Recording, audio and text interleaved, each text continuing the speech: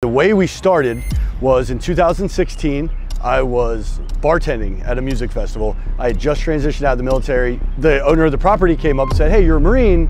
I need some help with, with our security. Can you help me? And I'm sure. So what I did is I called 20 Marines that I served with and they all came. And we end up knocking it out of the park and it's evolved into a 200 employees, 50 plus events a year. It's a real honor for us as a company to protect members that attend these events. We use a lot of similar military tactics that we've civilianized that are just easy to understand for our veterans, but also play a great role in how we provide service to our clients. We usually try to use this system all digitally. But sometimes when you're out on a mountain like this and there is no internet, there's no resources, we have to do it the old archaic way. But it's still just as effective. With treating patrons with respect and dignity, they, they in return showed the same to us because they understood what our mission was. And our mission was to keep them safe while letting them have a good time. I personally like to work the gates because I like to smile and greet people as they come in. And I think that's very important for them to feel that type of like good energy. You know, if they have a bad time going through security, they might have a bad time the entire event. You know, we're not that security company that comes in like trying to kick ass and take names. We know how to talk to these people just by instructing them, helping them, informing them, and knowing in what state of mind they are that it's not the best.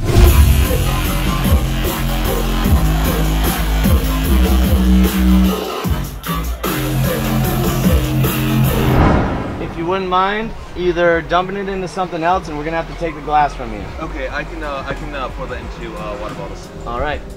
No glass bottles. We don't like any glass because people could get hurt.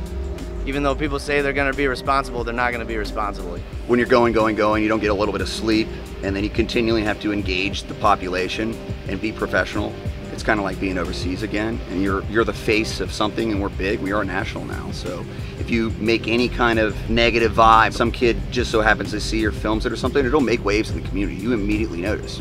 But in general, Battle Tested never does that. So we've seen guys throughout our time at Battle Tested that have really needed the support structure that we offer, whether they're taking pills, addicted to drugs, suicidal thoughts, depression, stuff from the VA, pain medication, stuff like that. It all evolves into something more. So with Battle Tested, we can help them relieve some of those problems through all the programs and benefits that we're offering. It's way easier to talk to someone that's going through it than to someone that doesn't understand it. Because I still came out of the military with not 100% clarity on where I was going in my life.